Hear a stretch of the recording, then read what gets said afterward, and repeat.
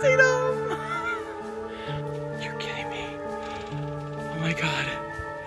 It's otters.